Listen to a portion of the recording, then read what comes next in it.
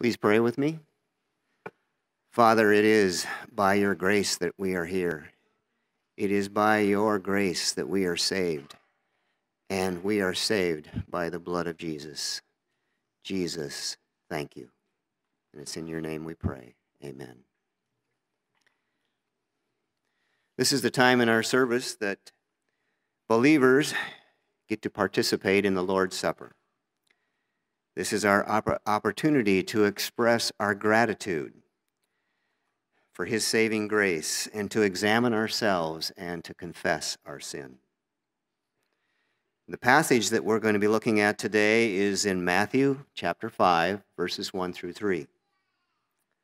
So if you don't have a Bible, there are some men up front who would be happy to provide one to you. If you don't own a Bible, you may take this one with you.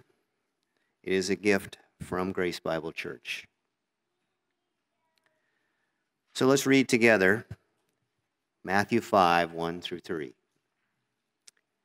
When Jesus saw the crowds, he went up on the mountain, and after he sat down, his disciples came to him. He opened his mouth and began to teach them, saying, Blessed are the poor in spirit for theirs is the kingdom of heaven. So in Matthew 5, verse 3, Jesus presents the true meaning of happiness. The Beatitudes are the first formal teaching by Jesus to his disciples. He is sitting on a mountainside, but has a much bigger audience than just his disciples. There is a reason why he starts with, Blessed are the poor in spirit. Being poor in spirit is foundational, is foundational to understanding all of Jesus' teaching and is foundational to entering his kingdom. Jesus wants the people of his kingdom to know and enjoy true happiness. How do we know this? Because each of the Beatitudes begins with the word blessed, which in the Greek means happy, well off, fortunate. God wants his children to be filled with the joy that does not come from emotions or relationships or external circumstances. God wants us to experience a deep inner happiness that is not subject to outside forces but produced by God in our hearts. True happiness only comes to us through the entrance into his kingdom. And the first step to entering the kingdom is being poor in spirit. It is realizing our spiritual poverty. What does it mean to enter his kingdom? It is acknowledging him as Lord of your life, coming under his rule, his authority, and his blessing. How does God describe the, uh, the blessing in his kingdom? Ephesians 1 3 says, Blessed be the God and Father of our Lord Jesus Christ, who has blessed us with every spiritual blessing in the heavenly places in Christ. And then in Ephesians chapter 2, verse 7, it tells us that this blessing will go on forever because it says, in the ages to come, he will show the surprising riches of his grace in kindness toward us in, Jesus, in Christ Jesus.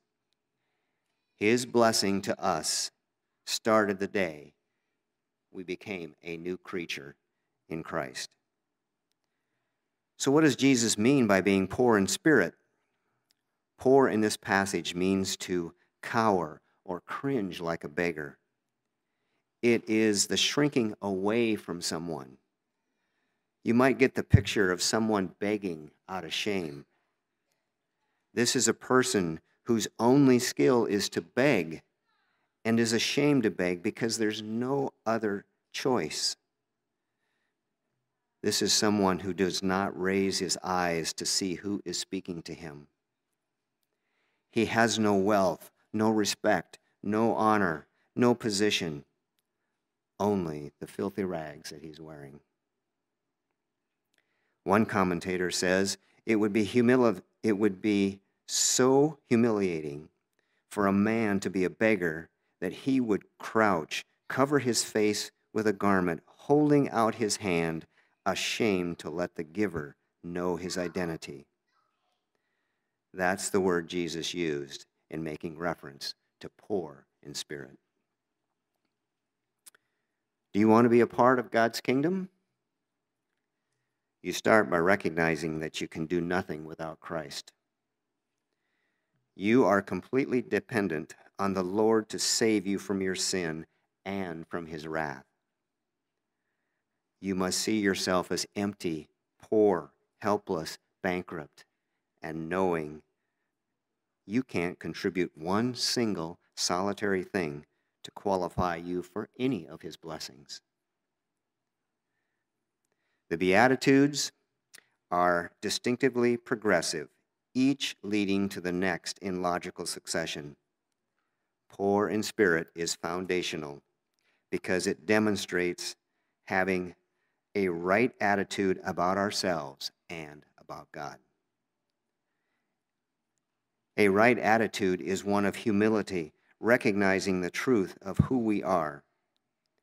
Humility in Isaiah 66 2 is used to describe a believer, but to him, this one I will look, to him who is humble and contrite of spirit and who trembles at my word. This recognition comes only from God and leads to mourning and gentleness, hungering and thirsting for righteousness, showing mercy, purity of heart, and peacemaking. The poor in spirit are believers who acknowledge that prior to salvation, they were spiritually destitute and were totally unable to save themselves. They recognized their complete dependence on God. They knew their only hope of salvation was to repent and ask for forgiveness through leaning on the sovereign grace and mercy of God. And even that is a gift. The hardest thing for a hardened sinner to, sinner to do is admit his total depravity and unworthiness. But when a sinner has had his eyes opened to the amazing truth and admits his depravity, that's where salvation begins. And that is where blessing and happiness begin.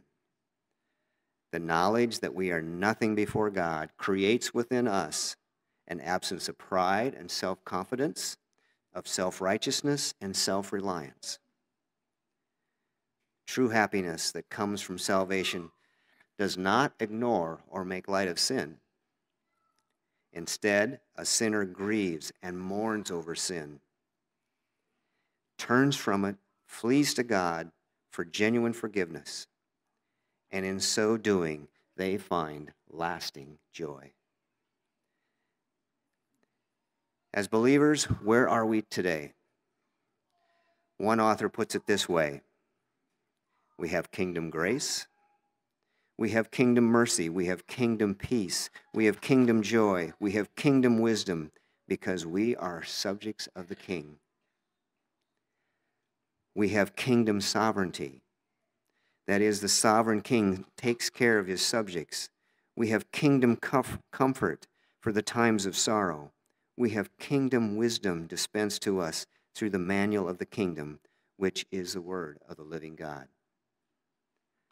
All spiritual blessings are ours love, joy, peace, patience, kindness, goodness, faithfulness, gentleness, and self control. Blessed are the poor in spirit, for theirs is the kingdom of heaven. So let's look at the word theirs for a second. Theirs in the Greek is the sense of theirs alone, nobody else's, barring all others who approach God except those with a beggar's heart. Theirs is the kingdom of heaven. Theirs is, not will be. Theirs is. So whatever whatever it is, it's present here and now. So if you're here today and admit that you are not a believer, we ask that you please humble yourself under the mighty hand of God. Ask Him to forgive you and to grant you a new heart with new affections. We would love to have you join in communion today. But if you choose not to cry out to God, please allow the bread and the juice to pass you by. For those of you who do know Jesus, this is the time to remember what he has done for you and to celebrate your relationship with him. Men, please come in service.